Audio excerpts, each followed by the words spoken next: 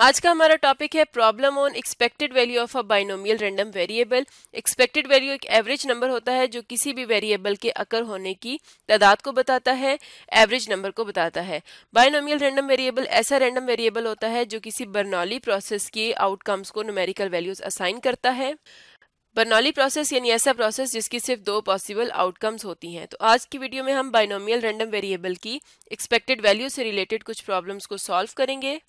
पहला प्रॉब्लम देखते हैं तो पहला प्रॉब्लम है a political poll is to be taken by mailing 1000 questionnaires it is known that the probability that any given question will be return is 0.14 यानी एक political पोल है जो कि लिया जाएगा क्वेश्चन भेजने से, जो कितने हैं? 1000 और जो क्वेश्चन भेजे जा रहे हैं, उनके रिटर्न होने की जो प्रोबेबिलिटी है वो है 0.14 find the expected number of questionnaires that will be return तो हमने वो एक्सपेक्टेड नंबर फाइंड आउट करना है क्वेश्चन क्वेश्चन एयर्स का जो कि वापस आएँगे.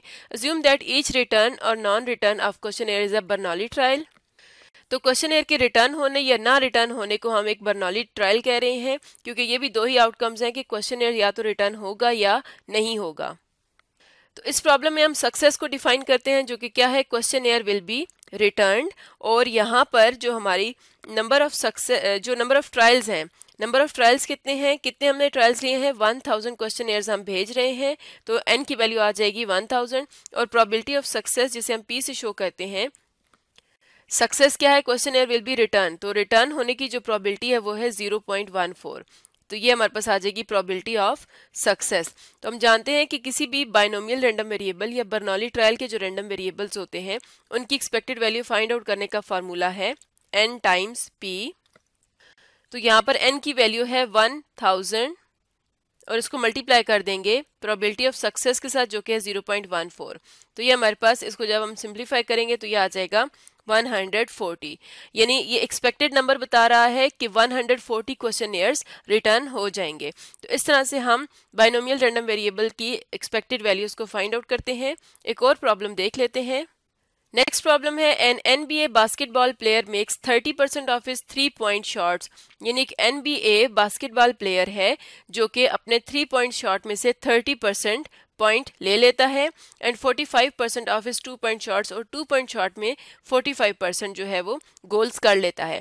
If each year he attempt 300 three point shots and 800 two point shots यानी हर साल अगर वो 300 थ्री पॉइंट शॉट्स लेता है और 800 टू पॉइंट शॉट्स लेता है what is the average number of points he makes per year on field goals तो हमने बताना है कि हर साल वो कितना एवरेज नंबर ऑफ़ पॉइंट्स बना सकता है। You may assume that his three point shots and his two point shots are both Bernoulli trial experiments तो हमने देख, यहाँ पर ये अज्यूम कर रहे हैं कि जो थ्री पॉइंट शॉर्ट है, ये भी एक बर्नौली ट्रायल एक्सपेरिमेंट है और टू पॉइंट शॉर्ट भी एक बर्नौली ट्रायल एक्सपेरिमेंट है। तो पहले हम यहाँ पर देख लेते हैं कि इसका जो थ्री पॉइंट शॉर्ट है, उस केस में इसकी एक्सपेक्टेड वैल्यू क्या आती है? तो यहाँ पर हम लिखते हैं थ्री पॉइंट शॉर्ट और इसी तरह यहाँ पर हम लिख लेते हैं टू पॉइंट शॉर्ट तो इन दोनों के लिए अब हम इसकी एवरेज वैल्यूज़ देख लेते हैं। तो थ्री पॉइंट शॉर्ट के केस में हमारे पास जो प्रोबेबिलिटी ऑफ़ सक्सेस है, जिसे हम स्मॉल पी से शो करते हैं, यानी कि उसके पॉइंट अचीव होने की जो प्रोबेबिलिटी है वो है थर्टी परसेंट इसे हम प्रोबेबिलिटी की फॉर्म में लिखेंगे तो हम लिखेंगे zero point three zero probability और नंबर ऑफ़ ट्रायल्स इसके क्या आ जाएँगे? हर साल वो 300 थ्री पॉइंट शॉर्ट्स लेता है। थ्री पॉइंट शॉर्ट्स हैं तो थ्री को हम मल्टीप्लाई करेंगे 300 के साथ तो इसके नंबर ऑफ़ ट्रायल्स आ जाएँगे 900 इसी तरह से अगर टू पॉइंट शॉर्ट्स को देखें तो वो प्रोबेबिलिटी कितनी हमें दी गई है? प्रोबेबिलिटी है 45 परसेंट तो इसे हम लिखेंगे 0.45 और नंबर ऑफ़ ट्रायल्स क्या आ जाएँगे? ये टोटल 800 लेता है टू पॉइंट शॉर्ट तो टू को हम मल्टीप्लाई करेंगे 800 के साथ, इसके नंबर ऑफ़ ट्रायल्स आ जाएँगे 1600 अब हम इनकी एक्सपेक्टेड वैल्यूज़ फाइंड आउट कर लेते हैं। तो एक्सपेक्टेड वैल्यू है थ्री पॉइंट शॉर्ट्स के लिए तो इसको हम कहेंगे ई ऑफ़ एक्स इनको डिफ्रेंशिएट करने के लिए हम इसको कह देते हैं ई ऑफ़ एक्स वन तो ये आ जाएगा एन इंटू पी इनको हम पी वन एन वन कह देते हैं, इनको पी टू और एन टू कह देते हैं। तो ये आ जाएगा N one multiplied by P one तो ये आ जाएगा nine hundred multiplied by zero point three जो कि इक्वल आता है टू हंड्रेड सेवेंटी के। इसी तरह से एक्सपेक्टेड वैल्यू फाइंड आउट कर लेते हैं एक्स टू के लिए, जो कि है टू पॉइंट शॉर्ट्स तो यहाँ से हमारे पास आ जाएगा N two multiplied by P two तो ये इक्वल आता है sixteen hundred multiplied by zero point four five.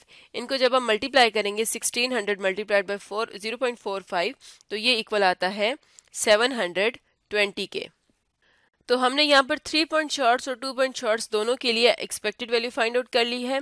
और क्वेश्चन ये है कि what is the average number of points he makes per year तो हर साल में वो टोटल कितने नंबर ऑफ़ पॉइंट्स लेता है तो उसके लिए हम क्या करेंगे?